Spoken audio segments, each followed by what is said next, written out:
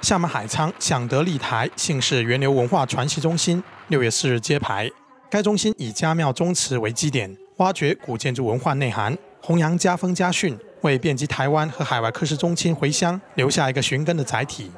眼前这座四百多年的科氏宗祠，又称享德堂，兴建于明万历年间。从这里走出的海沧首位界元科挺号立台，于万历庚辰年间中进士，先后任南乐县令、陕西道御史、湖广道御史和南京学政等。他廉洁公正，为民做实事，成为深受百姓敬仰的海沧乡贤。因为其实可能年轻一辈的人对于科挺。其人其实他可能未必了解，但是我们觉得说我们很有必要将他的一些典范流传下去。我也很荣幸这次能够跟着那个呃我们科室中亲们可以一起去完成这个事情，因为整个筹备的那个过程，你可以看到乡亲们出钱出力。那我自己呃是我我不是姓柯，我也是个台湾人，但是我在这个过程当中跟他们的连接是很紧密的。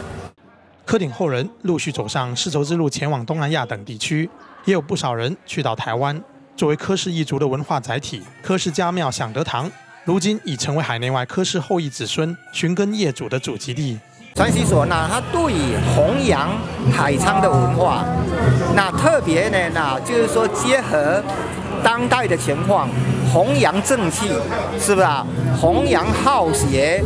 那弘扬那个连接，那都有非常现实的意义。据悉，未来。海沧响的立台姓氏源流文化传习中心将依托海沧区闽南文化研究会的资源和力量，进一步收集整理有关柯立台的史料图片，并进行展示，传承发扬柯立台文化，让柯氏年轻一代更好地继承前人的精神。